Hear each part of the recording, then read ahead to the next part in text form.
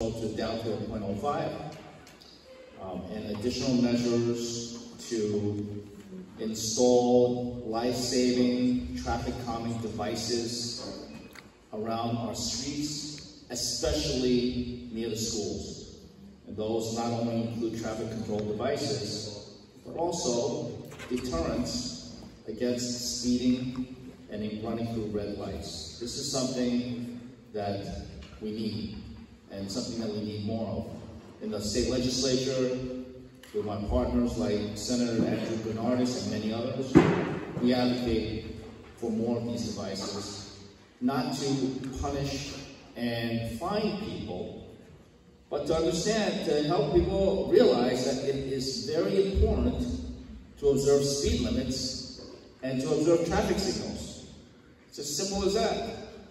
You don't speed, you won't get a, speed, a speeding ticket. You don't run a red light, you won't get a red light ticket. It's as simple as that. Follow the law. And uh, why are we doing that? It's to protect the public. It's to protect our young children. And ultimately, it helps the drivers themselves. I'm a driver, I drive a car. I will say I like a lot more than I drive. But still, it is something that we have to be mindful of constantly. We have, for a hundred years, been in a car-centric culture.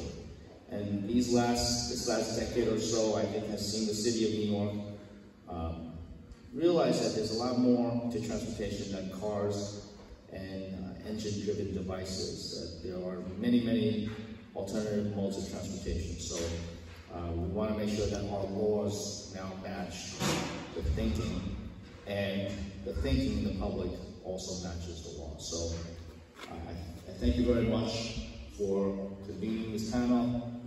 I'm not leaving right away, but I do have to get to another meeting at, at 3 o'clock. But thank you very much for joining us and look forward to the, the discussion. Thanks very much.